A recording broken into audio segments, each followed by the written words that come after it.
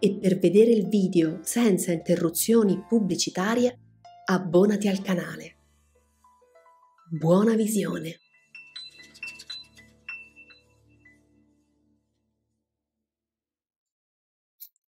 Come è stato detto, i tre capi dei dipartimenti, cioè i tre grandi esseri, sono il Mano, il Bodhisattva e il Mahachohan e rappresentano la triplicità di tutta la manifestazione che può essere espressa nella forma seguente, ricordando che tutto questo si riferisce alla soggettività e perciò all'evoluzione della coscienza e, in primo luogo, all'autocoscienza dell'uomo.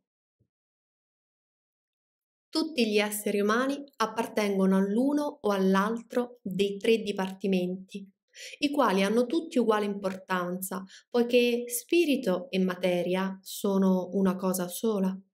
Essendo espressione dell'unica vita, sono così interdipendenti che esprimerne le funzioni con divisioni schematiche può anche indurre in errore.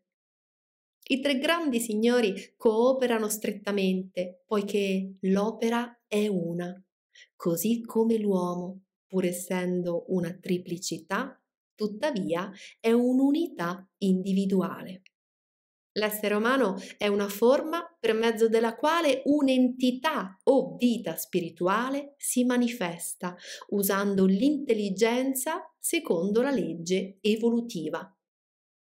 Per questo i grandi signori sono strettamente connessi con le iniziazioni di una unità umana.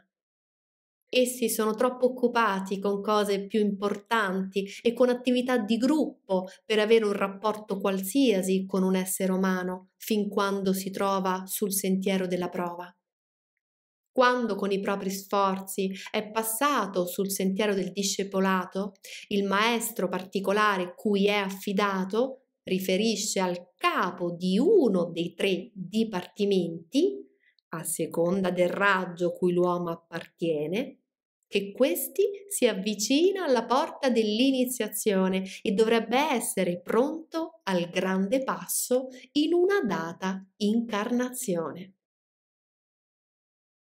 in ogni vita e più tardi ogni anno, egli presenta un rapporto fino all'ultimo anno del sentiero della prova, quando i rapporti diventano più specificati e più frequenti. Inoltre, in quest'ultimo anno, il nome del candidato è presentato alla loggia e, dopo che il suo maestro ha riferito e il suo rapporto è stato brevemente discusso, il suo nome è messo ai voti e vengono scelti i padrini.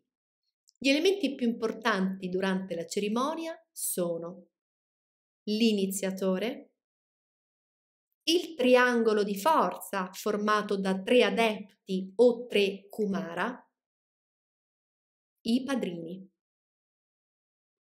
Alle prime due iniziazioni, due maestri stanno ai lati del candidato, entro i limiti del triangolo. Alla terza, quarta e quinta iniziazione, il Mahachohan e il Bodhisattva fungono da padrini. Alla sesta e alla settima, entro il triangolo esoterico, stanno due grandi esseri i cui nomi si tacciono. Il compito dei padrini è di far passare attraverso i propri corpi la forza o energia elettrica emanante dalla verga di iniziazione. Per irradiazione, tale forza circola attorno al triangolo e ad essa si aggiunge la forza dei tre custodi. Poi passa attraverso i centri dei padrini e con un atto di volontà viene trasmessa all'iniziato. In altre pagine di questo libro si è detto quanto basta riguardo alla loggia dei maestri e al loro rapporto con il candidato all'iniziazione e si è anche accennato al compito dello stesso iniziato. Tale compito non è ignoto agli uomini, ma è ancora soltanto un ideale e una possibilità per un lontano futuro. Tuttavia, se l'uomo si sforza di raggiungere quell'ideale e di dimostrarlo interiormente, si accorgerà che non è soltanto una possibilità, ma qualcosa di raggiungibile, purché lo sforzo sia adeguato. La prima iniziazione è possibile a molti, ma la necessaria concentrazione in una sola direzione, la fede costante nella realtà che ci attende, affiancata dalla volontà di sacrificare tutto piuttosto che retrocedere, scoraggia molti. Se quest'opera servirà non fosse che ad incitare alcuni a rinnovare lo sforzo, non sarà stata scritta in vano.